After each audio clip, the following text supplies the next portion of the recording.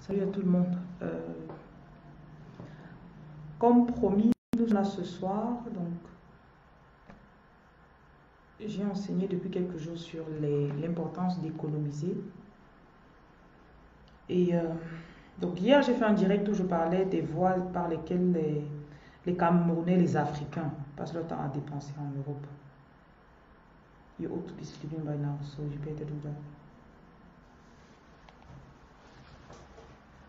Donc, ce qu'on va faire aujourd'hui, c'est que je vais interviewer euh, un Camerounais. J'ai eu trois candidats hier, donc j'ai eu une personne qui m'a gracieusement euh, offert son témoignage. C'est ce que je vais partager avec vous aujourd'hui.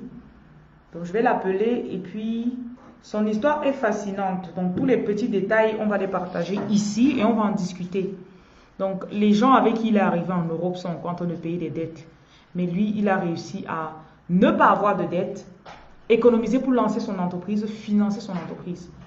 Et euh, au téléphone, il me disait qu'à un moment de sa vie, il, a il arrivait à économiser près de 1000 euros par mois. Moi, je pense que ça, c'est des exemples. On a besoin de savoir que ce que j'ai dit, ça, ce n'est pas le mensonge. Il y a des gens qui vivent déjà comme ça. Donc, c'est important qu'on puisse savoir que ce n'est pas la science-fiction. Si on voit quelqu'un qui se lève, il a 30 ans, il va créer son entreprise sans avoir pris un crédit bancaire, sans avoir une personne qui le finance, un oncle. Ce n'est pas toujours les oncles qui financent tout le monde. Donc, euh, pour ceux qui viennent d'arriver, bonsoir. J'espère que vous m'entendez bien. Je n'ai pas fait le, direct avec mon téléphone. Généralement, je fais avec mon téléphone. Donc, j'espère que la connexion sera assez stable pour qu'on puisse euh, l'écouter. Donc, bonsoir. Je vais l'appeler. Ah, merci Anaël. Bonsoir Anaël. Merci Daniel. Donc je vais l'appeler. J'espère que vous entendez bien.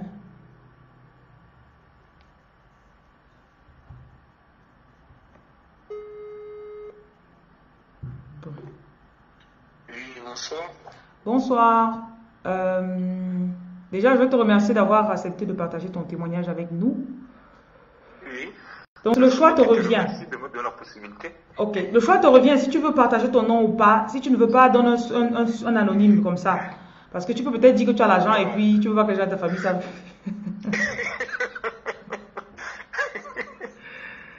Bon, Donald, ça peut aller. Donald, ça va. Ok, bonsoir Donald. Oui. Donc, Donald, ça va. Donald est très jeune. hein. J'ai vu les photos de Donald. Donald est très jeune. C'est pas, il a pas 40 ans, donc euh, c'est quelqu'un de très jeune comme nous là. Euh, donc, je vais, je vais déjà te demander. Tu, es- tu es d'origine camerounaise, non? Oui, je suis, je suis Camerounais. D'accord. Je suis Camerounais d'origine. Donc hier quand je parlais, tu m'as, tu as brièvement dit que tu as, euh, c'est ce qui t'est arrivé, tu es passé en Europe sans avoir une dette. Et moi je pense que c'est déjà un exploit. Tu n'as pas pris de dette. Et euh, je veux que tu dises un peu, tu parles un peu de ta situation aujourd'hui. Qu'est-ce que tu as, tu, tu travailles pour quelqu'un, qu'est-ce que tu fais? Bon, présentement, je suis euh, un ingénieur. Bon, parce que moi, je, je suis arrivé ici en Europe pour étudier. Oui, Donc, j'ai fini mes études en tant qu'ingénieur, comme on dit en Allemagne, ingénieur Maschinenbau, donc ingénieur conception mécanique. oui, Ça, c'est ce que j'ai fait comme étude et je travaille dans le domaine. d'accord. Une grande entreprise comme ingénieur en construction mécanique. Mhm. Ça, c'est ce que j'ai fait et c'est là où je travaille présentement. Est-ce que tu as donc, euh, tu as des- quelque chose sur le côté qui te donne l'argent? Tu as, tu as créé quelque chose à côté? Oui, oui, justement. Euh, bon, moi j'ai toujours été quelqu'un qui, bon, je crois que la plupart des gars en Allemagne sont comme ça, bon, je crois même en Europe c'est un peu comme ça. J'ai toujours été quelqu'un qui cherche à gagner son argent par lui-même. Mhm. Donc, euh, même quand j'étais étudiant, bon, moi je faisais les- des répétitions. Et quand je dis répétition, ça veut dire vraiment mon propre compte. Hein. C'est pas du genre aller dans un institut de répétition. J'ai beaucoup plus travaillé à mon propre compte. Comme je connais aussi le dessin technique, Oui. euh, assisté par ordinateur, j'ai beaucoup gagné de l'argent en faisant ce genre de cours personnels, en fait, privés. Oui, Euh, donc, à peu près, comment est-ce que j'ai toujours eu à gagner mon argent ici en Europe, hormis mes études. Bon, au Cameroun, euh, je suis déjà un peu plus avancé. Au Cameroun, j'ai déjà une entreprise. Mhm. Euh, ça s'appelle Engineering. C'est au niveau de Yaoundé. Euh, D'accord. au lieu dit Tu peux répéter le nom Mveng Engineering. Mveng Engineering. Oui, c'est même, visible sur. on a une page Facebook, donc sur Facebook, juste chercher Mveng Engineering. Épelle le nom, s'il te plaît, je vais mettre dans les commentaires. M-V-E-N-G D'accord. et puis Engineering. Oui. Tu es boulot ou tu es quoi? Tu es de quel, de quel village? Je suis Eodo. De Yaoundé, là, là, là où mon entreprise est basée, en fait, c'est mon village. Ok. Donc, euh, là, nous sommes à Oja, précisément. Oja, ok. marché d'Oja, à Yaoundé. D'accord. C'est là que mon entreprise est, est basée. Et nous faisons dans la conception et la réalisation des logiciels. Oui. C'est- un peu ce que mon équipe fait présentement. Ok. Euh, parce que l'objectif, c'est aussi embrayer euh, mon côté, donc ça veut dire le côté mécanique. Oui. Mais comme c'est un côté qui coûte un peu plus de fonds pour se lancer dans ce domaine, nous avons d'abord commencé par le secteur informatique, Oui. savoir la production des logiciels. Et nous sommes bien, bien avancés parce que nous avons déjà, je crois, plus de 5 logiciels qui fonctionnent au Cameroun. Ok. Donc, je, je, je veux qu'on parle bien des détails. Tu es arrivé en Europe, tu avais quel âge? Bon, je suis arrivé en Europe, euh, je crois, dans les 22 ans comme ça. Mhm. Après mon baccalauréat, bon, après le baccalauréat, j'ai quand même commencé mathématiques. En, euh, sou- en Guadeloupe ou bien? Euh, En Guadeloupe, Ouais. comme la plupart des gens. Passage obligatoire. Voilà, justement. Et bon, moi j'ai eu euh, le DUC. À, à l'époque, on avait le DUC, je crois, après deux ans. Oui. Euh, Parce qu'en bon, en fait, moi à la maison, on me disait toujours que si tu veux aller étudier en Europe, il te faut la licence minimum. Ouais. Donc j'avais une motivation vraiment qui n'avait pas de nom. Et, parce que je me disais qu'après la licence, je pourrais aller continuer mes études en Europe. C'était comme ça chez moi. Bon, euh, après mon DUC, moi j'ai dit je ne peux plus continuer de cette façon. Parce que euh, je crois pour ceux qui connaissent un peu les études au Cameroun, c'est du genre, bon voilà, tu dois te lever très tôt, tu pars en Guayaquil, tu dois être parmi les premières personnes pour être assis devant la devant- L'amphi 500, avec les gens de Justement, physique. à, à- justement, l'amphi 500. Donc, c'est ça. Bref, c'est- pénible. c'est- Oui. Après un an, deux ans, je crois que c'est pas évident de tenir le coup. Oui. Et sans compter aussi le coût financier de tout cela. Fait donc que, bon, à un moment, moi, j'ai dit que moi, je Donc- change un peu de... Tes parents t'ont financé donc pour que tu partes Bon, ça s'est passé comme ceci. Pourquoi moi je quitte le Cameroun Euh, Les dossiers du genre euh, chercher euh, les cours de langue en, en Allemagne, Oui. faire des dossiers au Cameroun, le, tous les petits papiers qu'il faut financé. Oui. Mes parents ont plutôt financé euh, du genre, bon, peut-être pour me chercher une chambre. Bref, pour que je le, le coût a été, je peux dire, à 99% fait par les parents. Ok, d'accord. Donc, c'est comme ça, ça. Donc quand tu es arrivé là-bas, est-ce que te finançaient, les parents te finançaient toujours Bon, ça, c'est donc, euh, donc, quand je suis arrivé, j'ai peut-être fait. Bon, parce que quand tu arrives, tu n'as pas encore droit au, au job, comme on dit. Tu n'as pas encore le droit de gagner un peu de l'argent. Oui. Non. Ce qui fait donc que, en fait, euh, j'ai quitté le Cameroun avec, je crois, quand même une certaine somme d'argent dans la poche, Oui. me permettant de tenir le coup pendant un ou deux mois. Waouh. Et l'avantage que j'avais, c'est que j'étais euh, j'étais chez un ami chez qui je ne payais pas la chambre, en fait. Donc, c'est un ami qui m'a hébergé Oui. les deux premiers mois, dont le, le loyer était gratuit. Et nous étions assez nombreux, nous étions, je crois, peut-être quatre, quatre autres étudiants là. Oui. Donc, ce qui fait donc que manger ne coûtait pas grand-chose parce qu'il fallait euh, se mettre ensemble pour acheter à manger. Bref, le, le- le coût de vie était trop réduit au point où je crois que j'ai quitté le Cameroun avec 200 ou 300 000. J'ai pu tenir le coup avec pendant, je crois, deux mois. Waouh. Oui, oui. Donc tu, quand tu es arrivé, tu vas acheter les, les chaussures, fois, les habits, les... tu n'as pas fait ça hein? Non, parce que bon, moi, j'ai juste utilisé ce que j'avais déjà. Mhm. Tout ce que j'ai acheté, c'est, euh, je, je crois, une jaquette pour l'hiver, parce que je suis arrivé, en- je crois, c'était en automne. Oui. Il me fallait donc un peu euh, une jaquette pour l'hiver, puisqu'il fa- il faisait bien un peu froid. C'est tout ce que j'ai acheté en fait. Parce que je n'avais vraiment pas l'argent à utiliser. Il y a des gens qui n'ont même pas l'argent, mais ils vont dépenser l'argent qu'ils n'ont pas. Bon, moi j'ai donc fait vraiment, j'ai fait le maximum d'efforts pour, pour limiter les coûts parce que je n'avais pas de choix en fait. Je n'avais pas de choix. Si j'utilisais cela, euh, je devais avoir beaucoup de difficultés bien après en fait. Ok. Attends, une minute. euh, Je vais dire bonsoir à tout le monde. Bonsoir Belinga. Euh, bonsoir euh, Louise. Oh, Bonsoir à tout le monde. Bonsoir Nalé. Ce qu'on est en train de faire, comme je vous ai précisé hier, je voulais qu'il y ait des, personnes qui partagent leur, euh, leur témoignage. Donc celui qu'on est en train d'écouter actuellement, Donald, il a passé euh, toutes les années qu'il a passé en Europe, il est en son histoire, comment il a fait pour économiser et ne pas tomber dans les dettes. Donc la première chose que moi je viens déjà noter ici, c'est que quand il arrive en Europe, il n'est pas là acheter les habits directement. Parce qu'il y a des gens que dès qu'ils ils se disent que dès que je vais arriver en Europe, on doit aussi me voir sur Snap ou bien sur Facebook ou bien sur je ne sais quoi. Donc si vous venez d'arriver, euh, bienvenue. Bon, je te compte, tu peux continuer. Là, on était au niveau, tu viens d'arriver en Europe. euh, tu n'as pas le droit de travailler, bien sûr, parce que les étudiants, c'est après quand même moi que les étudiants pouvaient travailler là-bas en Allemagne? Euh, Bon, ça dépend de comment quelqu'un vient. Bon, moi, je suis venu sans cours de langue. Lorsque tu viens sans cours de langue, il te faut d'abord commencer les cours de langue à zéro. Mhm. Et lorsque tu intègres les cours de langue de l'université, là, tu as le droit de travailler. D'accord. Donc, en fait, pour celui qui a fait les, langues, les cours de langue au Cameroun, il intègre un peu plus tôt parce qu'il vient juste continuer. Oui. Mais celui qui, qui a commencé en Allemagne comme moi, euh, donc il m'a fallu, je crois, peut-être, j'ai fait peut-être, je crois, trois mois au quartier comme ça, pour- Mhm. avant de- d'avoir le droit de pouvoir travailler à mon propre compte. Bon, je veux dire en passant que lorsque je suis arrivé, n'ayant pas encore le droit, bon, peut-être, je ne sais pas si je peux le dire, mais bon, je Vas-y, on va de oui, c'est là.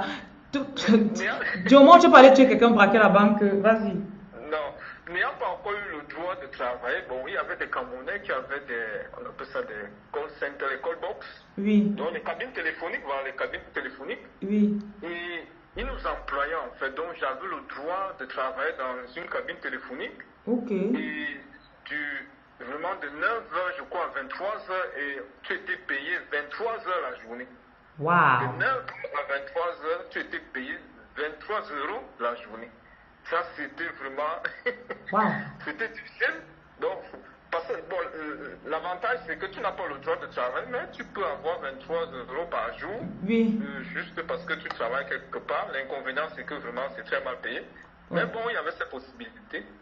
Soit c'est ça, soit tu manges rien et tu restes à la maison comme ça aussi. Ouais. Justement, tu as dans le choix. Donc, en fait, ça, ça m'a beaucoup aidé. Ça m'a beaucoup aidé. La où je n'avais pas encore le droit de travailler, et je partais au moins travailler là-bas. Donc, c'est vrai qu'on s'était alterné parce qu'il y avait beaucoup d'étudiants qui faisaient la même chose. Mhm. Donc, tu avais peut-être trois jours la semaine que tu travaillais. Oui. Et ça m'a beaucoup aidé. Je peux dire. Trois jours, c'est quelques- 70 euros au moins, hein, c'est pas petit. Ça fait 76 euros. voilà, donc en fait, c'est- c'était beaucoup d'argent, hein, franchement, à cette époque-là, c'était beaucoup d'ar- beaucoup d'argent. Oui. Parce que as un argent que tu, tu ne devais normalement pas avoir cela, quoi, si tu restais à la maison. Mais bon, tu as cela parce que tu prends un risque d'aller travailler, alors qu'officiellement, tu ne dois pas encore le faire. Mhm. Mais officieusement, on avait ce droit. Donc après ça, tu commences l'école. Voilà Et- comment j'ai commencé. Après, je commence les cours de langue à l'université. Et puis, bon, voilà, j'ai tout eu droit à travailler. Mais là, c'est que tu commences d'abord à travailler pendant les grandes vacances. En Allemagne, ce qui est connu, c'est que la plupart des étudiants travaillent à Mercedes. Mhm. On appelle ça DAM. Donc, parce que Mercedes prend plus de 1000, 2000, 3000, je peux dire mi- minimum 2000 Camerounais pendant les grandes vacances Oui. travaillent euh, en entreprise. Et voilà comment est-ce qu'à la fin de- du mois, tu te retrouves avec, je peux dire, 1500, 2000 euros, juste parce que tu as fait un mois de- comme, comme, comme étudiant dans une entreprise. Mhm. Et c'est avec cet argent que je vivais, parce que lorsque tu travailles comme ça, tu fais comme ça pendant deux mois, tu te retrouves avec 4000 euros, comme ça. Et tu dois gérer, en fait, tu dois gérer presque toute l'année qui va suivre. Quand je dis toute l'année, ça veut dire que tu as quand même l'argent dans la poche te permettant de tenir le coup pendant un certain moment. Oui. Mais l'avantage en Allemagne, c'est que même pendant l'année, tu as aussi droit à, à travailler. Donc, il y a beaucoup d'entreprises en dehors de tes études. Tu peux travailler. Moi, je travaille toujours dans une entreprise les samedis. Euh, donc, le samedi, soit samedi matin, soit samedi dans la nuit, ou bien dimanche matin, dimanche dans la nuit, parce que c'est ça qui rapporte un peu plus, la nuit rapporte un peu plus. Et parfois même aussi, même en semaine, en semaine, bon, étant donné qu'à l'université, on n'est pas toujours obligé d'être là, donc parfois en semaine, tu, tu, tu es obligé de travailler parce que tu as besoin d'argent en fait. Donc c'était un peu comme ça. Je travaillais beaucoup et je partais aussi à l'école en fait. Donc je faisais les deux parallèlement. Attends, je vais demander un peu, est-ce que tu avais la, la go? Bon, je- la chance que j'avais, c'est que j'avais les go euh, qui peut-être savaient que j'étais étudiant et peut-être qui ne me coûtaient rien, si je peux m'exprimer ainsi. Tu avais les. J'avais une go Ah, Bon, je peux dire la période, là j'ai quand même, je crois, une ou deux, deux goûts différentes. oui. Mais j'avais une go, mais en fait, je peux dire, le genre de go, peut-être qu'il comprend ta situation, quoi. Le genre, je ne vais pas dire qu'une go m'a coûté quelque chose, en fait. Je peux Elle m'expliquer. ne demandait pas la brésilienne. Non, non, non, non, non. C'était donc ma chance. C'est pourquoi je dis, peut-être Mango s'est rendu compte que si vraiment je mets encore la pression sur celui-ci, peut-être, avec le rythme de vie qu'il a là, euh, peut-être il, va, ça- il ne va pas réussir, quoi, en fait. Ok. Donc c'était un peu ma chance, en fait, que Oui. moi, les go ne m'ont pas dérangé. Donc tu as pris ta Je sais. chambre après, c'est ça? Tu, as pris ton logement à toi? J'ai pris mon logement parce que j'avais déjà la possibilité, j'avais déjà un, un travail dont j'avais la possibilité. J'ai pris, là où j'ai bien fait, c'est que j'ai pris un logement moins cher.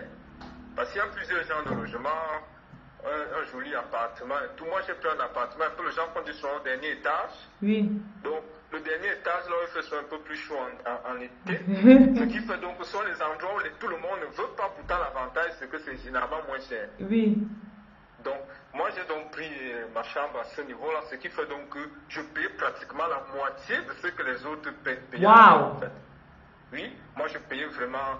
Ma chambre était très moins chère comparé à ce que les gars payaient ailleurs, comparé à ce que les gars payaient dans les cités universitaires, en fait. Mhm. Parce que moi, j'ai- j'étais dans le privé et j'étais au dernier étage. Mhm. Et ça appartenait en fait à une grande maison. En fait, elle mettait ça juste en location comme ça pour que ce soit occupé en fait. Donc pour moi, euh, c'était, je peux dire, un jackpot. Ça m'a coûté. Le mois, tu payais combien? moins cher. J'ai payé deux, j'ai commencé par 200 euros le mois. Euh, Quand j'ai commencé, c'était 200 euros. Mhm. Et quand je quittais, j'étais déjà dans les 250 euros. Pendant que les autres payaient les 350 euros, ou Ouais. fois, parfois, oui, 350 euros à, à peu près, quoi. Donc juste pour quelques marches d'escalier et puis un peu de chaleur en été, tu, tu payais, tu économisais 100 euros par mois. Justement, je, je peux dire ainsi, quoi. Ok, super. Donc, ça, ça, c'était, euh, ça m'a permis vraiment de vivre, euh, de ne pas avoir les problèmes, disons que bon, je n'arrive pas à payer ma chambre en fait. Parce Oui. que beaucoup ont ces problèmes, n'arrivent pas à payer la chambre. Moi, j'ai eu la chance que j'ai toujours réussi à payer ma chambre. Oui. Sans aucun problème. À Mhm. côté, il fallait aussi bien l'assurance et tout. Donc voilà, à peu près, j'ai donc fait comme ça tout mon parcours étudiantin. Donc j'ai vécu vraiment dans mon petit appartement là. J'ai même eu une copine qui m'a proposé, bon, elle, elle, avait, elle était un peu mieux logée. Elle m'a proposé d'aller vivre chez elle, mais moi j'ai refusé. Je peux dire Dieu merci, j'ai refusé parce que sinon, Le on va te mettre à la porte. Justement, parce qu'en fait, justement, il y en a qui sont, quand tu peux habiter chez elle, elle va te mettre à la porte en plein deux heures, parce que vous vous querellez en plein deux heures, donc ce qui fait donc, tu n'as aucun droit chez elle, et puis tu te retrouves dehors en plein deux heures, en plein hiver, et tu ne peux rien dire, quoi. Donc, Ouais. Je ne voulais pas me retrouver dans ce genre de situation, c'est pourquoi je, je n'avais pas accepté cela. Mhm. Ce qui fait donc, j'ai terminé mes études dans ma petite chambre d'étudiant. Oui. Ce qui fait donc que je n'ai pas eu les problèmes de, disons, de, de- que je dois peut-être une somme soit à une banque, parce que les banques ne donnent pas les crédits aux étudiants. Je ne devais pas, si je devais, bon, je devais peut-être l'argent à des petits amis, genre peut-être tu dois 50 euros à gauche, 60 euros à Mais tu c'était pas les trucs de 10 000 euros, 15 000 euros là. Justement, justement, voilà. Donc, en fait, j'ai terminé mes études sans problème, sans charge financière. Donc, je ne dois l'argent à aucune banque. Je ne suis pas une charge de- du genre que tu commences à travailler. Mm, quand Dis-moi un peu, que- quelles sont les voies par lesquelles les autres personnes se s'endettaient? Ce que tu voyais autour de toi. Bon, les gars s'endettaient pourquoi? D'abord Parce qu'ils voulaient une belle voiture. Les gars voulaient les grosses voitures, oui. Les gars voulaient les grosses voitures. Les gars voulaient vivre dans des appartements bien équipés. Hmm. Donc, en fait, un étudiant, quand tu arrives chez lui, il a l'écran plat. Ouais, c'est ça. Attends, ne casse pas la bulle. Les gars aiment les gars qui ont les écrans plats chez eux. Tu parles de quoi? Justement, donc. mais, mais la réalité, c'est que moi, je n'avais pas écran plat, mais j'avais aussi une petite. Donc, en fait, ça veut dire que c'est pas forcément ce qui donne la petite. Oui. Et en plus, certains avaient les grosses voitures. Donc, certains, tu vois un étudiant, vraiment, tu vois avec quoi il roule, tu te tu dis, waouh. Et l'Allemagne est forte pour les grosses voitures. Si c'est les gros moteurs, ils ont ça là-bas. Voilà, donc les gars avaient vraiment des. Les gars avaient un certain standing. Hmm. Les gars étaient aussi dehors tous les jours. Et quand tu les voyais dehors, tu sentais vraiment ça. Ça peut pas être l'argent d'un étudiant qui te permet d'être dehors tous les jours comme ça. Mhm. Les gars s'habillaient aussi trop cher. Ils s'habillent aussi trop cher. Puis trop cher. Les gars ne portaient que les marques. Ça ne veut pas dire que moi je ne portais pas les marques, mais du moins comparé à- au standing de certains gars, Mhm. j'étais en dire, à la cour de récréation. Donc, Ouais. ce qui fait donc. Bref, ce sont beaucoup, ce sont des dépenses du genre les voitures. Gérer des petites qui coûtent aussi trop cher, parce que moi je vais Hmm. dire cela. Il y, a- il y en a qui ont eu, il y en a qui étaient en Allemagne, mais devaient gérer une femme au Cameroun. Ce qui fait donc que c'est pas, c'est pas peu d'argent, c'est lourd pour un étudiant. Et à la longue, c'est, tu dois passer par le crédit, quoi. Ouais. Et ce qui fait donc que, voilà, à peu près ce qui a mis les gars dans les difficultés. D'autres se sont aussi retrouvés dans des situations où ils ont épousé une femme. Et bon, voilà, tu épouses une femme dont tu as une vie de responsable. Et bon, voilà, ta petite vie d'étudiant ne te permet pas de tenir le coup. Il faut un crédit pour que vous puissiez Hmm. réussir à vous en sortir. Bref, tu es déjà dans ce cadre de vie-là et forcément, euh, ta femme va te... Du moins, certains se sentent obligés de chercher le crédit, en fait. Et c'est vrai, tu sais, parce que euh, même déjà quand deux personnes se mettent ensemble, dès que vous êtes ensemble, comme, ok, mariage, s'il faut se marier, l'événement seulement, la cérémonie en elle-même seulement, ça va coûter de l'argent. Voilà, tu sais. Donc, ce genre de choses. Mais bon, si c'est encore l'événement, le mariage, bon, je peux dire que ça, va- ça va même encore. Mais si c'est que vous devez prendre le crédit pour, pour subvenir à vos besoins au jour le jour, là, c'est encore... Là, c'est lourd, en fait. Oui. Et, et beaucoup étaient dans ce genre de situation parce qu'en fait, tu, tu te mets d'abord avec même une femme qui ne travaille pas d'abord elle-même. Et, et elle compte sur toi. Ça veut dire que toi, Ouais. travailler. Oui.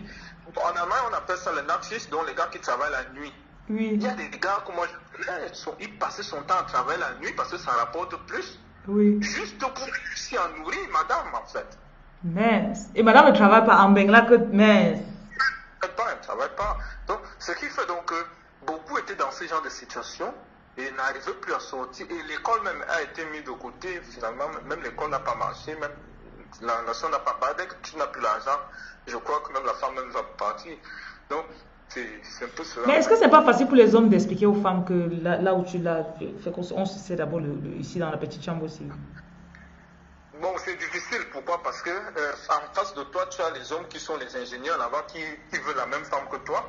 Et si tu veux tenir le coup, Ah. tu le Donc, les femmes ont le choix. Les femmes ont le choix. Waouh. Soit elle est avec le petit étudiant qui souffre là, peut-être parce qu'elle l'aime, soit elle prend, parce qu'il y a aussi les jeunes, il a fini les études, jeune étudiant, ingénieur bien médecin, tout ça. Il veut aussi la même petite qu'un étudiant. Ce qui fait donc que comme les femmes ont parfois ces choix-là, et voilà comment est-ce que c'est les enchères augmentent en fait.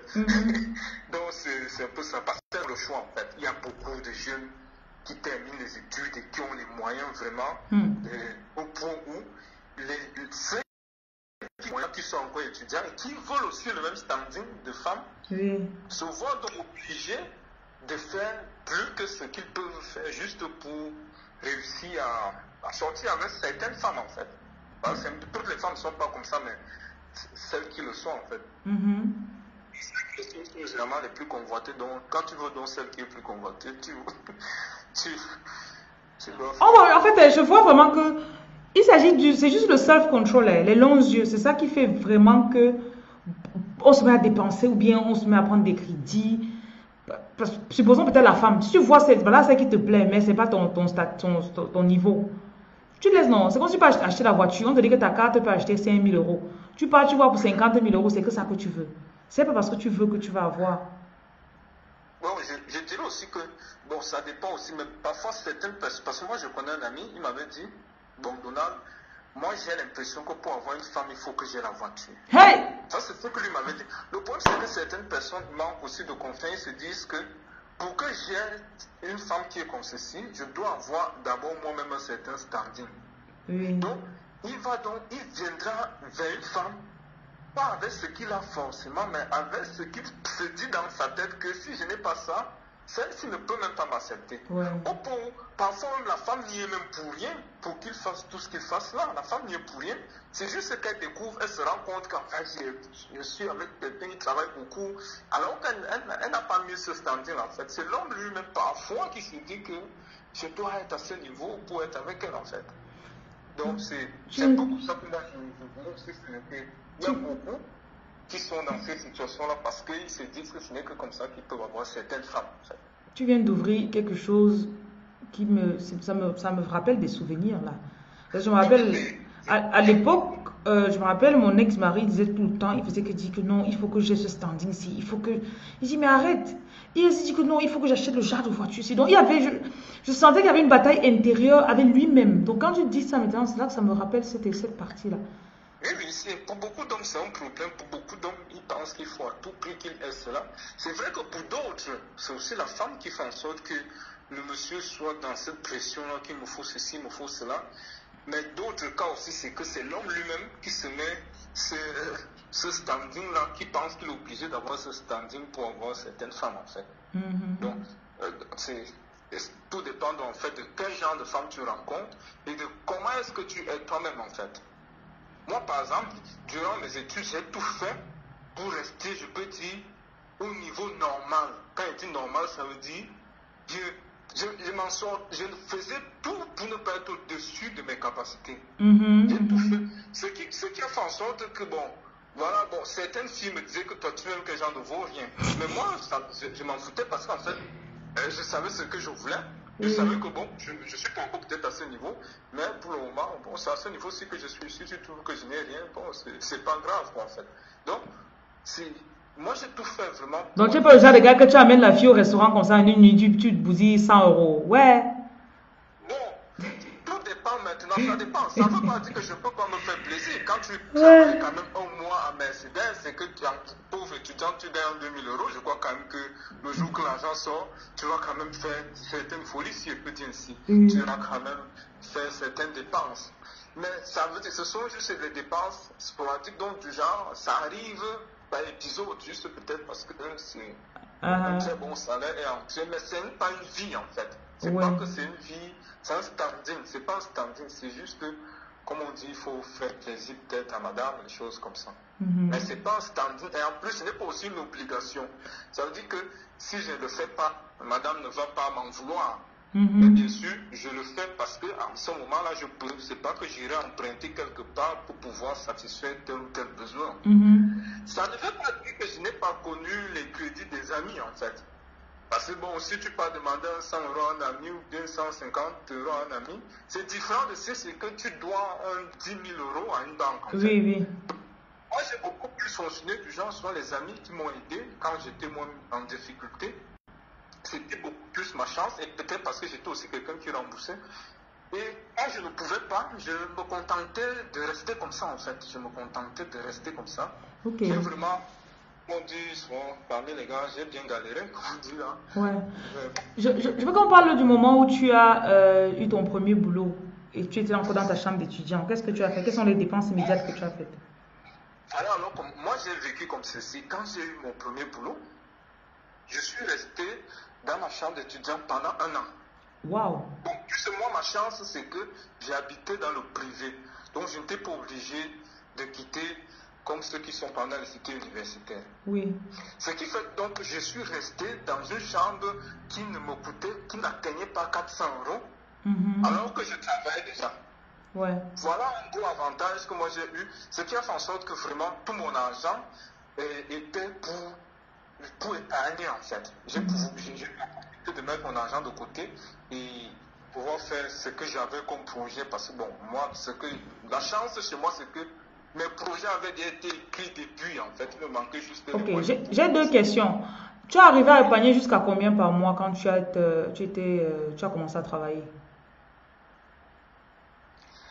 Bon, je suis arrivé jusqu'à épargner même plus de, même 1000 euros le mois. D'accord, Oui. d'accord.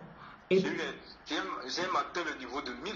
J'ai atteint le niveau de 1000 euros. Parce que euh, je vis seul et j'ai une chambre moins chère oui, et je ne me suis pas empressé, em- empressé à aller chercher tout de suite une grosse voiture. oui, Je me suis pas empressé tout de suite à maintenant équiper ma maison avec de nouvelles, de nouveaux meubles. Bref, je n'ai pas fait de grosses dépenses du genre pour que je sois obligé de rembourser cela mensuellement. ouais, ouais.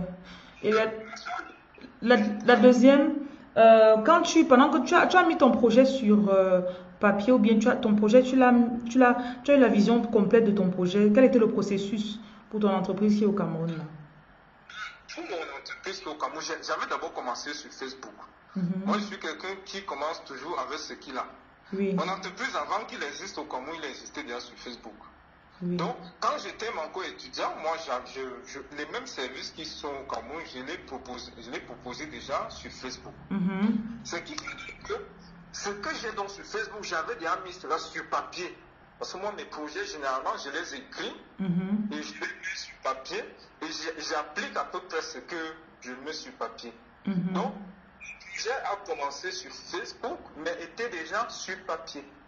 Maintenant, pour quitter de Facebook au Cameroun, c'est juste que je me suis dit, je commence avec ce que j'ai. oui, Ayant eu la possibilité de mettre un peu d'argent de côté, Mhm. ce qui fait donc que euh, il m'a juste fallu euh, emprunter, je crois, euh, un 500 euros ou 600 euros, si je me rappelle bien, chez une personne qui avait pris la cotisation, dans, dans son, sa cotisation, pour compléter ce que j'avais déjà. Et c'est comme ça que moi j'ai commencé en fait. Dans l'objectif de que je commence avec ce que j'ai, pas besoin de beaucoup de choses. Il me fallait juste, je crois, trois ordinateurs et un peu d'espace aménagé, euh, le cadre pour que ce soit un cadre où les programmeurs peuvent venir s'asseoir et puis travailler, en fait. Mhm. Et au début, le programmeur, ce qui fait donc que je n'avais pas un investissement assez lourd. Ouais. Mais je voulais à tout prix commencer et le plus tôt possible, en fait. C'est que quitter Facebook pour là où euh, je suis actuellement au Cameroun, ça n'a pas pris assez de temps et j'ai- tout fait pour que je fasse cela ma première année de travail. Waouh. Oui. Pour que, parce que je sais une chose, c'est que quand tu fais déjà un an, deux ans, trois ans, quatre ans, tu auras les enfants, tu auras, les charges vont augmenter, ce qui fait donc certaines choses, tu ne pourras plus faire. Mhm. Tu ne peux plus faire facilement parce que euh, tu ne peux plus facilement épargner, par exemple, 1000 euros quand tu as bien des enfants et femmes, tout Mhm. ça. Alors, donc que, c'est, c'est- pour moi, ça c'est ma philosophie. Hein. Ouais, ma ouais. philosophie, c'est d'investir le plus tôt possible au Cameroun, en fait. Investir le plus tôt possible. Est-ce que c'est la meilleure façon? Ça, c'est autre chose. Mais pour moi, il fallait que je le fasse le plus tôt possible. C'est pourquoi, dès que j'ai commencé à travailler, je l'ai fait. et J'ai commencé avec ce que j'avais. Et, et puis bon, au jour d'aujourd'hui, ça, ça fonctionne. C'est difficile, parce que le Cameroun est vraiment compliqué. Ouais. Mais ça fonctionne. C'est- difficile, mais ça fonctionne. Ok. Ceux qui veulent peuvent aussi rendre et, font à peu près le, le travail pour- fait au Cameroun. Le, le, le souci avec la jeunesse, c'est que euh, au lieu d'économiser pour pouvoir commencer quand même, les 500 euros sont venus compléter l'argent que tu avais déjà. Justement, justement. Ce n'était pas le premier fonds que tu avais. Et laisse-moi te dire que celui-là m'a prêté cet argent parce que je lui ai dit que j'ai déjà une somme, mais il me manque 500 euros. Mhm. C'est même dans cet âge-là qu'il m'a prêté cela. C'est ce que je vais lui dire que, gars, prête-moi un peu l'argent, voilà. Je suis sûr qu'il allait peut-être un peu tourner, mais puisque je lui ai dit concrètement ce que j'ai et ce que je voudrais faire, Oui. il était de que mais tu as les idées comme ça, tu, ne- tu ne m'en parles même pas. il était surpris en fait que, que, que voilà ce qu'il veut faire. Pour lui, c'est une bonne façon de m'aider, Oui. lui ayant, ayant à sa disposition et ayant cette somme qu'il vient de gagner dans sa le, truc au Cameroun, c'est que le loyer, c'est 12 mois, non? Tu as, tu as payé 12 mois? Bon, la chance alors que moi j'ai, c'est quoi? C'est que moi j'ai plutôt aménagé un local en fait. Ah, d'accord, d'accord. J'ai pris un local et j'ai, j'ai aménagé. C'est ce qui a en fait pris mon, mon argent. C'est ça que j'avais voir. J'ai aménagé un local où pour- et, et- et ce local m'appartient maintenant. C'est pas que j'ai pris un local en location. Moi, j'ai préféré prendre un, aménager et m'installer en fait. C'est vrai que quand- tu le fais, c'est l'investissement est lourd, mais je voulais un certain petit standing Oui. que mon entreprise est, parce que quand j'ai fait quelque chose d'abord d'assez bien, et c'est que je peux, je peux fermer l'œil dessus même pendant au moins 10 ans, je n'aurai plus besoin de faire des travaux quelconques en fait. Donc, j'ai fait cela une fois, j'ai vraiment, j'ai bien aménagé, Mhm. très bien, une fois, pour que je n'ai plus à le faire peut-être les 10 prochaines années en fait. Mhm. Donc, euh, on va dire la dernière question. Je veux savoir euh, quels sont les types de services que vous offrez donc? Bon, qu'est-ce que nous offrons? J'ai dit, nous sommes une entreprise, pour le moment, nous produisons les logiciels. Actuellement, au Cameroun, euh, l'État dernièrement disait qu'ils ont besoin des logiciels de e-learning. Oui. Nous, nous en avons un, ça s'appelle NetProf. Nous en avons un, nous avons un proposé. Ça fait partie d'un de nos logiciels. Nous avons notre logiciel pour la gestion des centres hospitaliers. Mhm. Nous avons un logiciel pour la gestion des établissements scolaires, un peu comme ça se fait ici en Europe. Tu es, par exemple, à la maison, tu peux regarder tes notes, les cours, J'en ai besoin ici, tu sais, parce que je, je, je, je, passe à la radio là et il y a plein de... La semaine passée, par exemple, j'ai dû passer à la radio pour montrer aux établissements comment ils peuvent étendre leur... euh, conserver le- le- l'éducation pendant ce moment. Donc ça, c'est vrai que êtes sur Doha, sur Yaoundé, mais sur Doha, là aussi, il y a besoin de ça. Donc en inbox, là, je vais te contacter pour que tu me... faut que tu me donnes le nom de l'application et de logiciel. Ouais. Ok, bon, justement, dans ce genre de logiciel, nous faisons. Mhm. Et euh, actuellement, nous sommes aussi en train de faire un, un autre logiciel pour la gestion des, des communes. Mhm. Comme les communes sont en train de devenir aussi quelque chose d'important au Cameroun là-bas, donc nous avons lancé un logiciel pour la gestion de... Un peu comme les communes sont faites ici, les gens peuvent prendre des rendez-vous, les gens peuvent Oui. télécharger les documents, les gens peuvent faire beaucoup de services online étant à la maison. Oui. À peu près le même genre de logiciel nous sommes en train de faire pour les communes. Bref, pour le moment, nous sommes spécialisés sur la fabrication des logiciels. Nous faisons également la maintenance informatique et électrotechnique. Mhm. Nous faisons également dans l'infographie. Mhm. Euh, dans l'avenir, ce qui vient, c'est que euh, une des choses que moi j'ai étudié dans euh, la construction mécanique, nous Mhm. voulons aussi faire dans la construction mécanique, ça veut dire fabriquer certaines machines nous-mêmes au Cameroun. Ça, c'est ce qui va se faire. Tu sais quoi, le- je ne savais pas que Dieu est en train de mettre les pions comme ça. La- L'Afrique est en plein essor et on a besoin que les gens qui sont allés apprendre des choses à l'étranger reviennent faire ce que tu es en train de, ce, ce que tu es en train de dire là. Tu as donc tout compris. C'est pourquoi moi je suis déjà au Cameroun, c'est pourquoi moi je le fais déjà. Mhm. Et, et moi j'encourage même tous ceux qui veulent faire, même s'ils n'habitent pas encore au Cameroun, mais pour moi, moi j'ai compris que franchement, si tu le fais pas, tu regrettes en fait. Ouais. Parce que c'est aussi un moyen pour nous de transmettre ce qu'on a appris. Oui. Moi, dans mes logiciels, c'est en fait ce que j'ai eu, eu à voir ici. Ce sont les Camerounais qui programment. Moi, je ne suis pas programmeur, mais j'ai les- idées et que je leur propose qu'est-ce que vous pouvez nous faire la même chose là-bas, en fait. Mhm, mhm. Parce que c'est pas qu'on crée quelque chose qui sort de je ne sais où, on prend des choses qui existent déjà, on adapte au On duplique et on adapte, ouais. Et c'est à peu près ce que nous fait. Ça, voilà à peu près nos services, quoi. Voilà à peu près nos services. D'accord. Et c'est. De toutes les façons, comme je l'ai dit, c'est visible sur Facebook. Nous avons également un site internet, Mvenji, M-V-E-N-G. Attends, attends, je vais noter. Euh, M-V-E-N-G. M-V-E-N-G-I.com. D'accord. Donc j'ai noté pour ceux qui veulent aller jeter un coup d'œil là-bas. C'est bon. Mhm. Merci. Donc il y a Kasia qui dit qu'aucun aucun homme ne peut m'impressionner avec la voiture. Lorsqu'une femme comprend le sens de la liberté financière, son épanouissement est autre.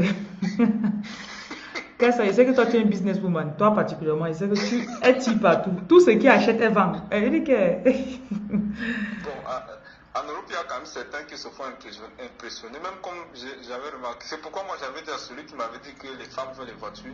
Je lui ai dit que si tu sais qu'il y en a qui ont encore plus grosses voitures que ce que toi tu as là-dedans? Justement. tu ne peux pas impressionner une femme avec la voiture. Donc, euh, Donc. jours, ça ne sert à rien. Mer- Merci, merci Donald, merci pour ton temps et puis d'avoir pris le temps d'expliquer tout ceci. De rien, c'est moi qui te dis merci. Ça m'a permis de, de raconter un petit peu comment est-ce que moi j'ai fait. Mhm. Si les gens ont peut-être des questions que peut-être tu aimerais que je puisse répondre, tu pourras me poser ces questions et puis je leur donnerai, Mhm. donnerai un peu, à peu près les informations. Comment est-ce que moi j'ai fait pour que moi, très tôt, je n'entre pas dans le crédit et que très tôt, je réussisse à investir au Cameroun avec moins de 3000 euros, quoi, en Mhm. fait. Voilà. Vraiment, ça c'est. Et je pense aussi le fait que tu avais déjà une idée en, en tête, tu avais planifié déjà. Euh, Voilà, c'est surtout ça qui a fait ma force, c'est que mon, mon projet n'est pas né que comme j'ai commencé à travailler, tout de suite je commence à travailler sur mon projet. Comme je l'ai dit, ça existait déjà sur Facebook, peut-être un an en avance même en fait. mhm. Moi, je commence toujours là où je peux. Facebook est gratuit. Je faisais déjà mes services là, mais dès que j'ai eu la possibilité de transposer cela au Cameroun, je l'ai tout de suite fait en fait. Mhm. Et j'avais déjà évalué le coût, je savais ce qu'il me faut exactement. Quand est-ce que je peux à peu près commencer Mhm. Quel est le coût minimum qu'il me faut tout de suite pour commencer Dès que je l'ai eu, tout de suite j'ai commencé, je n'ai même pas réfléchi de midi à 14. Et ça m'a permis de, de faire en sorte que très tôt, j'ai déjà une structure qui, qui est en train, de, en train de très bien grandir en fait. Mhm. Super. Voilà, euh, si vous avez des questions, posez-les. J'ai son contact, donc je pourrais euh, lui poser la question pour vous. Euh, on est vraiment... Je, je, je ne savais même pas qu'il y avait des Camerounais qui connaissent ce que tu, tu dis là, qui font ça. Ça me fait plaisir de savoir ça. Et il y a encore plein de personnes qui ne comprennent peut-être pas encore ou qui ne pensent pas encore comme ça. Mais le but, c'est que euh, une personne à la fois, on se change d'abord nous-mêmes et puis euh, on montre l'exemple. Et puis le moment venu, les personnes, les autres personnes vont euh, rejoindre, rejoindre le, le- le mouvement. Il est temps qu'on puisse, qu'on arrête de se plaindre et qu'on fasse quelque chose. Ah, tu as tout compris. Tu as compris, il faut faire en fait. Il faut faire. Malgré les difficultés, il faut essayer en fait. Ouais. Et, et celui qui essaye a toujours un peu d'avantage en fait. Ouais. Selon moi, il faut toujours essayer. Parce que tu as sûrement connu des moi- obstacles. Selon, selon moi, moi je suis plus, plus dans l'option proposer des solutions aux problèmes. Parce que nous connaissons tous nos problèmes chez nous. mais il nous manque des solutions. Quand tu entres dans le groupe de ceux qui proposent des solutions, pour moi, c'est la partie qui est la plus difficile et c'est là-bas où il y a peu de gens. Or, c'est là-bas qui est intéressant. Et nous qui avons eu la chance de venir en étranger, on a un peu plus de possibilités en fait.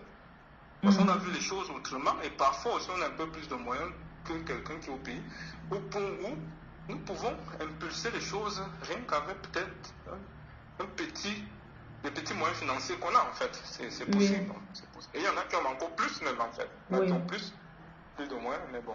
Mais en fait, tu sais quoi, j'ai compris en fait que ce n'est même pas la quantité d'argent. Parce qu'il y a des gens qui ont, qui, qui ont pu faire des exploits avec un peu d'argent. hein. Et parfois, quand tu vois que peut-être moi, je touchais tel salaire, peut-être, supposons, c'est 2000 euros que tu as chaque mois. Il y a d'autres personnes qui ont aussi 2000 euros comme toi, même 3000 euros. Et en 5 ans, ils n'ont pas pu mettre quelque chose sur pied. Justement, justement. C'est, tout ça, c'est parce qu'en fait, c'est, parce que les gens, euh, les gens, il y a quelque chose, moi je n'ai même pas dit. Il y a un moment, nous, sommes tous Camerounais, ça veut dire que quand tu es en Europe, ta famille te demande l'argent, ceci, cela. Mhm. Moi, qu'est-ce que je faisais souvent? Oui, en une année, je peux choisir peut-être une ou deux fois, j'envoie de l'argent. Le reste du temps, je leur dis que. non, je leur disais clairement que laissez-moi avancer. Parce que si elle n'avance pas, ils ne voient pas comment est-ce que je pourrais vous aider? Ça, beaucoup de gens n'arrivent pas à dire ça dans leur famille, en fait. Beaucoup de gens croient qu'ils sont obligés de toujours envoyer Oh, maman en train de pleurer, envoie-moi 50 000. Papa, non, tu n'es pas toujours obligé. Parfois, il faut dire à la famille que là où vous voyez là, si vous me donnez un an, Wow. vous verrez ce que je pourrais faire après. Moi, j'ai- j'ai eu ce courage de dire cela chez moi, que franchement, donnez-moi la possibilité de terminer ce que moi aussi je suis en train de faire. Mhm. Quand tu leur dis ça, et que ta famille essaie de comprendre, d'ailleurs, s'ils ne comprennent pas, c'est toi qui décides, non, est-ce que c'est de la C'est ça justement. C'est ton argent, c'est toi qui souffres, en gros, pas En fait, c'est une information, c'est un communiqué. Ce n'est pas un avis. Tu ne vas Voilà, pas. justement. et, tu appliques et c'est avec effet immédiat. non, c'est ça. Moi, franchement, moi, j'ai été comme ça, que vraiment, à un moment, tu dois dire stop.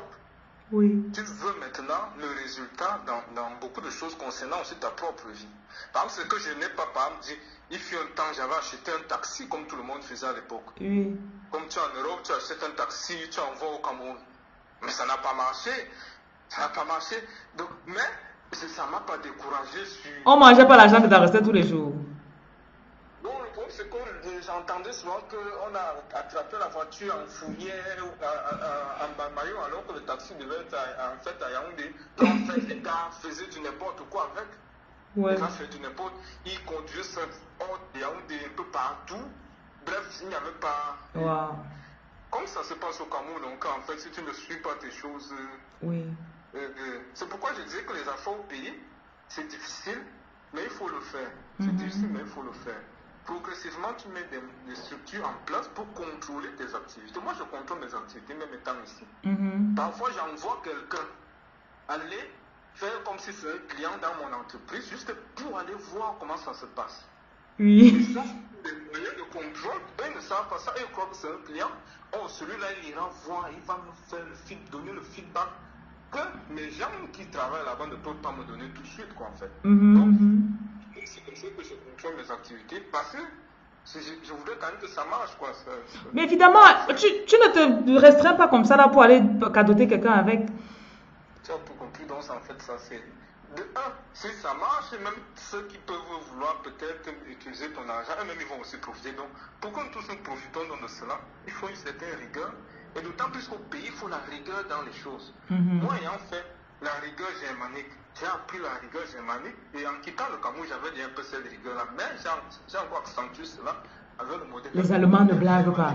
Hmm. Voilà, j'ai cette rigueur dans ma façon de faire les choses et je veux juste transmettre, parce que c'est pas quelque chose de mauvais en fait, je veux juste transmettre cet esprit-là chez moi pour que ce n'est que comme ça qu'on peut avancer en fait, une discipline, une rigueur et fabriquer, faire des bons produits en fait. Et puis, bon, voilà, on, on avance en fait, Mhm. on avance. Donc c'est un peu ça. Ok, attends. Il y a Kassia qui dit du courage, mon frère. Euh, Non, merci, merci, merci. Et Il y a quelqu'un qui disait qu'on ne dit pas du courage à un entrepreneur, on achète son produit et c'est mieux que comme ça qu'on le motive. Thank you. Wow, j'ai encore jamais entendu ça, mais ça a tellement de sens. Oui, il y a quelqu'un qui avait dit ça. L'entrepreneur n'a pas besoin de du courage. L'entrepreneur a besoin que tu achètes son produit. C'est le me- c'est la meilleure façon de dire. Et si tu ne veux pas, peut-être quelqu'un d'autre peut offrir son produit à une, une partie, une connaissance ou quoi que ce Oui. soit. C'est C'est vrai. la meilleure façon d'aider un entrepreneur en fait. Et c'est vrai en plus parce que euh, l'entrepreneur, je crois qu'il a assez de courage. Pour, pour, pour faire tenir l'entreprise que tu vois là, il faut y assez de courage. Si tu n'en as pas, tu vas tomber en, en un jour. C'est quand même beaucoup de risques que tu prends. Et puis bon, voilà, il faut beaucoup de courage. Comme tu disais, regarde par exemple toi, moi je te suis depuis un certain temps. Mhm. Et moi, je trouve ton parcours intéressant. Pourquoi? Parce que ça fait partie des. Ici en Europe, on a une autre image des femmes. hein. Bref, moi qui, euh, qui vis ici, on a, moi j'ai un peu une image mitigée des femmes. Mhm. Pourquoi? Parce que j'ai vu d'un côté les femmes bien battantes et de l'autre côté des femmes qui ont, si je peux dire, qui ont foiré la vie des hommes en fait. Ouais. moi, ça me fait toujours plaisir quand je vois une femme qui se bat elle-même. Parce que moi, j'encourage une femme qui se bat elle-même. Oui. C'est vrai qu'une femme qui se bat elle-même maintenant, ça devient, je peux dire, une femme difficile pour nous les hommes. Mais là, ce qui est bien, c'est quand une femme se bat elle-même. Pour moi, je trouve ça intéressant quand je vois une femme battante Mhm. qui, essaie, qui essaie de vouloir construire quelque chose d'elle-même, sans compter que peut-être un homme peut m'aider, même si l'homme aide après, mais ça reste la marque déposée de telle femme en fait. Et c'est ce que moi je trouve intéressant dans ce que tu fais par tu as dit quelque chose que c'est intimidant pour euh, les hommes. Tout homme qui a été à côté. Il y a des hommes devant qui je me mets et certes physiquement, je n'ai pas encore la fortune qu'ils ont, mais ça me fait plaisir parce que je peux parler. Je peux, je peux, je, me sens à l'aise avec la personne parce que euh, les, gens regardent trop à l'extérieur ou bien à l'argent ou bien à ceci, mais pour, moi, si la personne a la vision, tu peux le trouver qui vient de faire faillite, mais à l'intérieur de la personne. Oui, c'est chargé. Tu sais que non, c'est seulement temporaire. Venez, revenez dans six mois, il sera plus là-bas. Et beaucoup d'hommes ne veulent pas faire cet effort. Ils ne veulent pas arriver là-bas. Du coup, euh, tu te sens euh, comme un alien, euh, alien, comme un étranger. Si jamais tu, tu maintiens ton standard et tu dis, monsieur, toi, tu vas monter ici. Non, c'est vrai. ça. Et ce n'est pas, c'est pour qu'on avance en fait. Parce que si le monsieur ne monte pas, toi, tu vas descendre. Et il y a tellement de femmes qui ont beaucoup de, de talent en elles. Elles ont la vision, elles savent qu'elles peuvent. Mais, elles se sont laissées attendrir, ralentir, freiner. freiner. Parfois même, on, on a fait comprendre que tu n'as pas besoin de- d'exprimer ce que tu veux ou bien ce que tu connais parce que généralement c'est ce que la femme connaît. Ce que tu connais, tu n'es pas obligé d'exprimer cela. C'est ça. Alors que selon moi c'est une erreur hein, en fait. Selon moi c'est Un homme qui comprend la valeur de sa femme, en fait, il va en tirer avantage. C'est, en fait, l'argent là, quand tu viens de donner, il va économiser. Donc, tous les petits trucs que l'homme n'arrive peut-être pas à gérer là, la femme, naturellement, tu viens, tu donnes un ordre que je veux que ceci soit fait tous les jours à 6 heures. Pas, tu fais deux ans. Si c'est que c'est ta femme là, tous les jours là, à 6 heures, elle va se lever, elle va faire. Et ça, pour moi, c'est une arme. C'est une, une arme qu'on peut utiliser. C'est pas pour rien que ce sont les femmes qui gèrent généralement l'argent dans les foyers parce que généralement elles gèrent mieux. Oui. Les femmes gèrent mieux parce que les femmes ont une large vision et en plus elles sont généralement plus ambitieuses que nous. Parce que quand toi l'homme tu es déjà d'abord ambitieux, si tu as encore une femme ambitieuse, toi, c'est. Exponentielle une fois. Ce que vous allez faire, c'est c'est grave. Hein? Alors là, il faut le focus seulement, vous vous concentrez. C'est Voilà. tout. Et surtout, et surtout, il faut agir. Parce que bon, j'ai remarqué dans notre communauté, nous les Noirs, nous n'agissons pas trop. C'est ça qui fait notre faiblesse. Nous nous limitons plus au, à la théorie en fait. Ça veut dire, On parle se beaucoup. met ensemble, on parle d'un projet ou bien on parle de quelque chose que nous essayons de faire. Mais le moment de faire, tu verras, il n'y a plus personne en fait. Les associations, là, on dit, OK, rendez-vous à 18h. Personne ne vient. du genre, euh, quand j'étais étudiant, j'ai travaillé avec d'autres étudiants, même d'autres pays, du genre, à travers Internet, on peut mettre un projet sur place, en place, et, et que du genre, dès qu'on a, on met un peu l'argent de côté, nous, nous montons une structure. Mais je me suis rendu compte que de un, j'étais le seul qui travaillait. Hmm. Les autres avaient toujours les raisons. Chaque fois qu'on avait un rendez-vous, que bon voilà, on fait euh, un peu comme une vidéoconférence. Aujourd'hui, on parle de ce que chacun fait. Chacun avait toujours une raison pourquoi il n'a rien fait. Je me suis pas rendu compte en fait. Tu peux faire comme ça, même 10 ans, tu ne vas rien faire, tu n'auras aucun projet réalisé. Ouais. Parce que les gars ont toujours les histoires dormies de Donc, c'est comme ça que Wow. j'ai donc dit que bon, je me mets seul à mon compte et bon, voilà comment est-ce que moi, Mhm. euh, j'avais changé d'orientation. Pourtant, avant, je travaillais avec les gars, en fait. Avant. J'ai, euh, il y a euh, euh, Cassia qui dit euh, l'installation des panneaux photovoltaïques, un super business qui grimpe crescendo. Donc, euh, c'est ces commentaires que je suis en train de lire. Oui, ça c'est vrai, ça c'est, je connais des gens qui, c'est même, j'ai même envie d'installer aussi dans ma structure là-bas. C'est un business qui est en train de grimper. Mhm. Le seul problème que les gens font là, c'est que les gens font mal des calculs. Et parce que beaucoup de gens viennent te dire que bon voilà, tu mets les panneaux et puis tu auras l'électricité comme ceci. Et si tu, si tu es tombé sur quelqu'un qui ne connaît pas faire ces calculs, laisse-moi te dire que tu peux avoir 4 ou 5 ordinateurs, celui-là installe 2 ou 3 panneaux, ça n'alimente même pas un seul en fait. Wow. Le, pro- oui, le problème, c'est que les gars euh, ont encore les problèmes de rendement. Et moi, ceux qui ne sont pas encore futés, parce que je parle de certaines structures que je connais, Mhm. ils ont encore des problèmes. Ça veut dire que c'est pas parce que tu as posé les panneaux dessus là et mettre l'alimentation en dessous que ça fonctionne comme on souhaite en fait. Généralement, encore le courant va même celui qui a ses panneaux, il n'a même- Pourquoi? Parce que il y a trop de pertes. Celui qui a monté cela ne s'est pas rendu compte que peut-être il fallait 4 ou 5 ou 6 panneaux de plus Mhm. pour avoir un peu plus d'électricité. Mais quand tu tombes sur quelqu'un qui est bien, franchement, ça fonctionne très bien. hein. Et de nos jours, il y a vraiment il y a de plus en plus de gars qui sont efficaces là-dessus. Oui. En fait, le, le Cameroun est en train de changer dans le sens où euh, avant, on ne fonctionnait pas au Cameroun avec le mérite, ce qui fait que ça décourageait beaucoup les gens qui travaillent dur. Mais maintenant, avec le net, maintenant, la visibilité mondiale, quand tu fais du bon travail au Cameroun, on te cherche. Et les gars, te cherchent justement, et c'est ça. Et sans compter qu'il y a aussi de plus en plus de structures privées. Oui. Et le tard, tu sais, le privé ne compte pas sur, le, sur autre chose, le privé compte sur le mérite. Mhm. Et comme il y a de plus en plus de structures, que ce soit technique ou bien dans des domaines, dans divers domaines, qui font dans le privé, les gars sont obligés d'être forts, bien d'être performants dans ce qu'ils font. Parce que ce n'est que sur ça qu'ils comptent. Ils ne comptent pas sur, je sais pas, sur tel ou tel cachet ou bien sur tel nom. Ils comptent sur ses performances. Mhm. Ça fait en sorte, sans compter que les Camerounais sont, il faut dire les choses comme elles sont, les Camerounais sont des gars bien battants. Les Camerounais ont une certaine technicité, une certaine, Oui, oui. euh, une certaine, un certain savoir. On a un certain savoir qui est reconnu. Mhm. Et ce n'est pas. Ok. Et comme les jeunes entrepreneurs, là, donc, euh, on peut avancer. Oui, oui, non, c'est vrai, c'est vrai. Donc, il y a Marc qui dit, c'est vrai ce qu'il dit. Et ce que j'apprécie chez. Ah, elle, dit que c'est ce qu'elle apprécie chez moi, que j'ai quelque chose et je vais émerger. Comme, ok. Il faut la persévérance et la patience. Et je- je vois. Ok, merci, euh, Mag. Donc, ça, c'est tous les commentaires que j'ai lus. Euh, donc, on, a, on est là pour, pour s'entraider. Je sais qu'il y a beaucoup d'entre vous. De temps en temps, il y a des gens qui me disent que ça fait longtemps qu'ils me suivent et je ne savais même pas. Donc, euh, le- Moi, c'est seulement parce que, bon, je n'ai- j'ai- de temps en temps, j'arrivais, le live était à fini, il fallait suivre un peu après. oui, oui. Mais c'est donc que je, je suis beaucoup plus tes lives.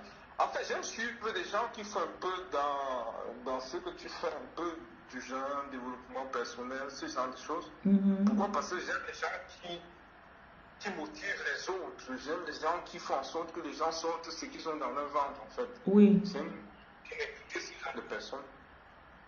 il y a la peur. Beaucoup de personnes ont peur. Important. Il y a les gens, important. il y a les gens que si tu, si, si tu vois ce qu'ils savent faire, mais ils ont peur. Ils ont peur, justement. Parfois, ils ne savent même pas comment utiliser leur potentiel. C'est parfois ça la difficulté. Ils ne savent pas comment faire. Et, et surtout que dans la tête des gens, on a déjà dit que parfois, si tu veux faire certaines choses, si tu causes avec les gars, ils vont te dire que bon, pour faire le business, il me faut avoir au moins 10 millions, 13 millions, 15 millions, 20 Oui. millions. Quand tu dis aux gars que non, tu n'es pas obligé d'avoir 20 millions pour commencer les affaires. Tu peux commencer par faire un, un petit capital. Les gars sont surpris que comment ça? Ouais. en fait, parfois les gars ne savent même pas comment séquencer une charge, en fait, comment diviser quelque chose que j'ai envie de faire. Mhm. Moi, par exemple, c'est comme ça que j'ai fait. J'ai d'abord commencé par l'informatique, parce que ça coûte moins cher, Oui. mais le, le- le gros du travail arrive après, le côté mécanique arrive bien après. Parce que ça, ça coûte un peu plus cher. Quelqu'un d'autre aurait dit que bon, comme je ne peux pas commencer tout ça une fois, je ne commence même pas. Et Yeah. et c'est une mauvaise stratégie. Par contre, quand tu divises ce que tu as envie de faire, jamais tu commences et progressivement tu réussis à mettre en place tout ce que tu as envie de faire, mais juste parce que tu as divisé, tu as séquencé Mhm. ton travail. En fait. Wow, ça c'est super. Tous les mamans, les mamans là, les mamans célibataires confinées avec leurs enfants là, c'est ce temps de s'asseoir, vous mettez les stratégies en place. Les, des idées que vous voulez faire depuis là. Vous êtes confinés maintenant. Avec, avec le confinement, là, alors, ça permet vraiment aux gens de, de- Depuis que je suis dans le confinement, franchement, j'ai fait beaucoup de choses que Oui. je repoussais. Productivité maximale, mon frère. Tu pars. Tu ne déposes pas l'enfant à l'école. Tu as le temps de t'occuper de toi-même, en fait. Mhm. de, de tes propres projets, choses qu'on n'a pas toujours le temps de faire quand on est tous les jours. Et personne ne te visite. Tu ne dépenses pas sur quelqu'un. Voilà, tu, tu es encore coupé, tu restes sur du donc tu ne parles pas sur les gens, les gens ne viennent pas sur toi. Donc vraiment, tu es à fond sur, sur ce que tu as envie de faire. Non, franchement, c'est une bonne période. Mhm. Ok. Donc merci. Euh, J'ai mis le site là. Si vous voulez visiter, visiter. Êtes à Yaoundé et euh, bien sûr si au Cameroun, vous avez besoin de ces services, n'hésitez pas à les contacter. Euh, ou bien vous avez écouté son histoire, ça inspire beaucoup. Parce que vous attendez toujours les histoires de quelqu'un qui est devenu milliardaire. Le milliardaire a commencé quelque part. Je ne suis pas encore milliardaire. Oh, attends, regarde, regarde, regarde. Voici comment Dieu fonctionne. Quand Dieu met, quand le sperme rencontre l'ovule et que ça féconde, la seule chose qu'il faut il faut à cet embryon, c'est le temps. Point à la ligne. Donc, que tu sois le père de 90 ans ou que tu sois l'embryon de deux jours, il y a déjà, c'est là-dedans. On te laisse seulement le temps. On te laisse seulement le temps. C'est tout. C'est ça en fait qui me plaît sur la nature. Non, Donc, clair, pas de frustration. Quand tu comprends ça, tu n'es pas frustré. Non, ça c'est clair, le temps. Ouais. C'est important, non, ça c'est. Tu travailles et puis avec le temps, tu vois les résultats, ça c'est clair. Oui. Quand c'est à toi là, tu dis qu'il y a beaucoup de nez en décembre. C'est ça. Surtout toi, tu es en train de porter dans la grossesse. Bon. ouais. Euh, merci, merci beaucoup. Merci pour ton témoignage. non, c'est moi qui te dis merci D'accord, pour le de travail que tu fais. Mhm. Donc, euh, Du courage. Merci à toi aussi. Bonne soirée. Merci. Bonne soirée. Mhm. Donc, euh, je remercie Donald parce qu'il a partagé son histoire avec nous. Cassia, je suis sûr que c'est toi qui es en train de rire là. C'est toi qui es en train de rire. Bon, euh, je, pense que vous avez tout entendu, vous avez vu le but de ce que je suis en train de faire et que ça vous inspire, que ça vous permet de continuer dans ce que vous avez commencé, que ça vous permet d'inspirer quelqu'un d'autre. Ou bien si vous aviez même déjà commencé, vous voulez vous décourager, que vous comprenez que en fait, je suis en train d'aller quelque part. Très important. Voilà. Il faut que quand on ouvre les frontières, là, que vous soyez seulement un bulldozer, vous, vous écrasez tout sur votre chemin. Soyez différent, vous soyez nouveau et vous ne repartez pas dans les anciennes habitudes. Parce qu'à l'échelle mondiale, on n'a jamais connu ça. Voilà encore un mois de, un mois de prison qu'on a donné à tout le monde entier. Donc profitons-en. ok. Bon, euh, si vous avez, contactez-moi inbox si jamais vous, euh, vous avez une histoire comme ça. Parce que là, il m'a écrit, euh, il m'a parlé, il m'a dit hier, je lui ai écrit, et puis il, était très, il a répondu rapidement, il était proactif. Tac, et puis on s'est connecté, ça s'est passé. Donc, merci de partager ce direct, s'il vous plaît, pour que ça puisse toucher, inspirer quelqu'un. Et euh, on se retrouvera demain, normalement 21h, entre 21h30 et 21h40. Que le Seigneur vous bénisse. Et puis, bonne nuit. Au revoir.